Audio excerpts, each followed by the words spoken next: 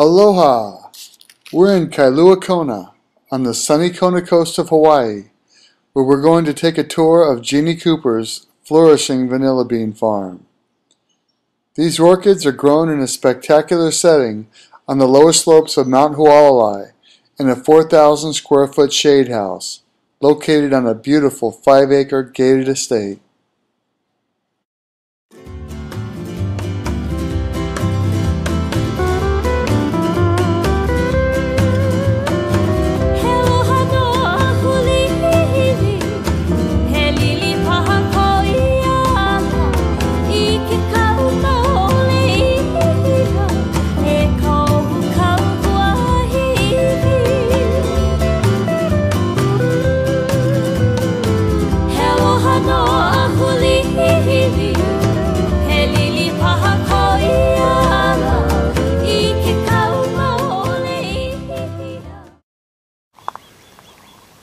So what are you doing here, Jeannie? So I'm taking off the little cap and taking out the pollen. And then I have to go back in and go up and under the pollen cap where the pollen cap was. And I put it in like that. Press it together. And there it is. You've just pollinated the flower.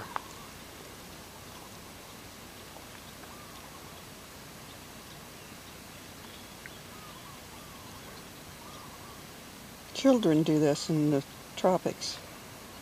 Is that right? Uh-huh. And I don't think they the... use a toothpick either. Wow, I guess once you get the hang of it, not too difficult. Cool, huh? Yes. I'll show you something else about this. There are clumps and what I call subclumps. This is, here's a clump of flowers here's a clump of flowers and more clumps of flowers and I can pollinate until I get five to seven beans on each clump and then I have to stop. But that's okay because as you can tell I have a lot of beans. Yes. And so once you get to that point that's just that, that's then a... I just take a take off all the flowers. Okay. Wow. And let's take a look at some of these beans that we have over here. There's some just everywhere. I have James here because he gets on the ladder and does the tall ones for me. And there's James. That's James. Very important part of this operation. Yes. He keeps me going. Come on over here. Look at these beans. Wow, look at these. Look at all these vanilla beans. They must really love this climate. They love my shade house. The shade house, that's right. This is a 4,000 square foot shade house with an irrigation system and two types of irrigation. There's a flower right there.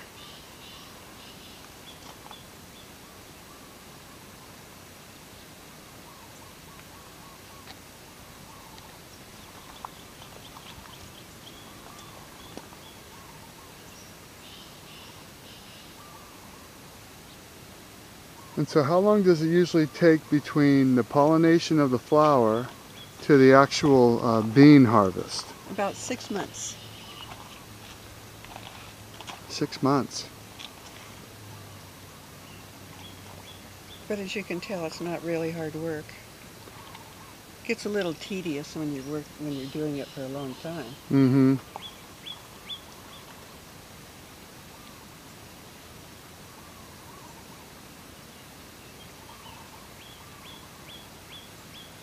But when you sell it for $10 a bean, you keep going. That's right. That will keep you working. That will keep you working. And look at all these beans.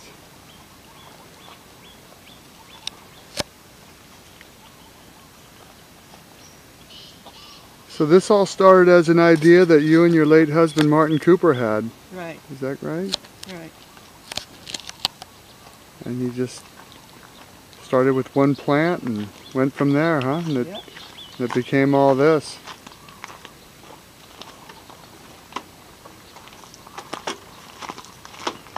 Have you already done this row? Yeah. Oh, this is just, this is beautiful. All these beans.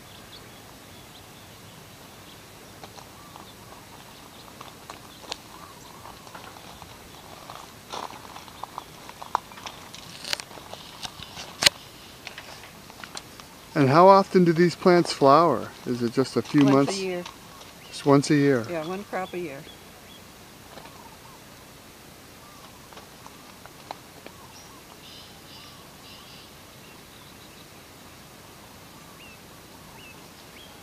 Very nice.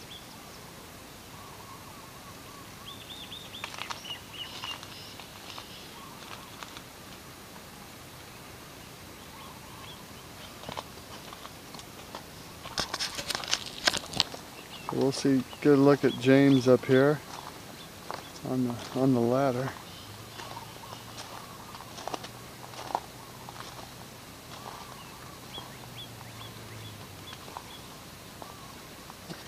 So you're out here pretty much every day when these flower when these plants are flowering, huh, James? every day for the past six weeks. Wow. It's it's slowing down considerably. They start out with the flourish, and then once you pollinate everything that can be pollinated, that's that's Yeah. it. I can see you've done a lot of pollinating with all these beans here. Lots of beans.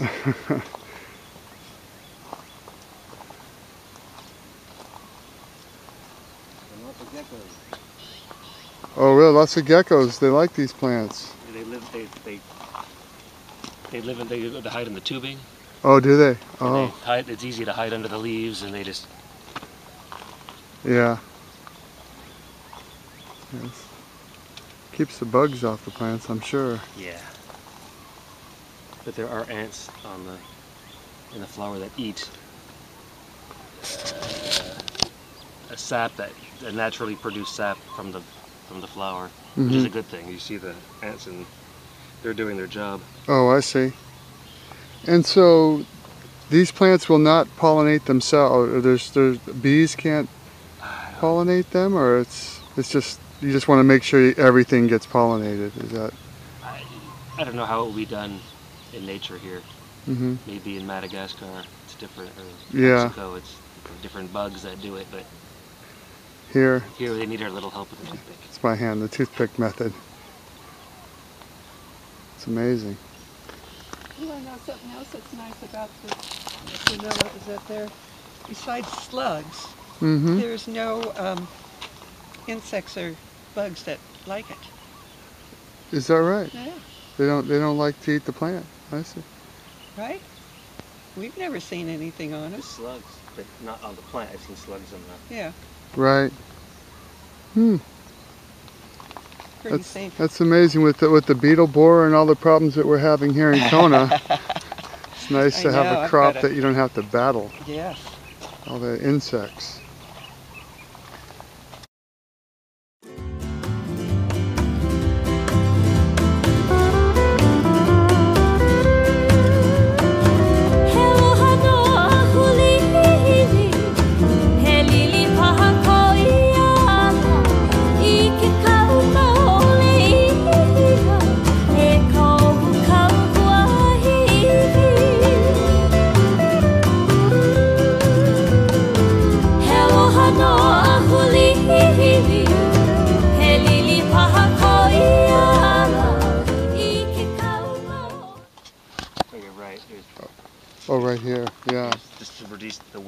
The.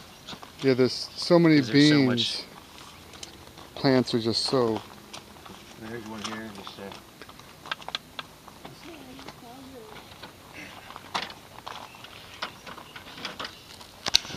These bamboo stakes help support the weight of these massive vanilla plants.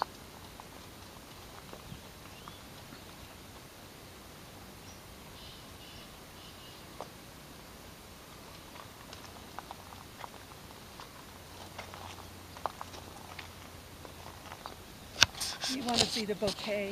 Yes. Yes, I'd love. here. We've got two bouquets. Okay, let's have a look. We call these the bouquets. Oh, I see. Look at all those flowers. Yeah. It's just And look at the length of this bean. Obviously, it's one of the first ones. Whoa.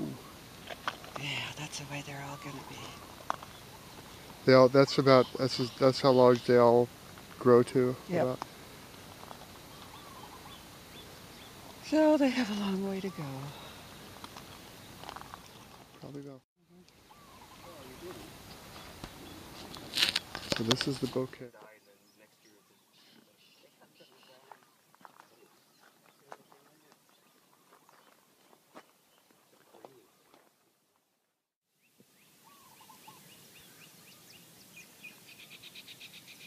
Well, Jeannie and James, thank you very much for this beautiful tour. Your vanilla farm.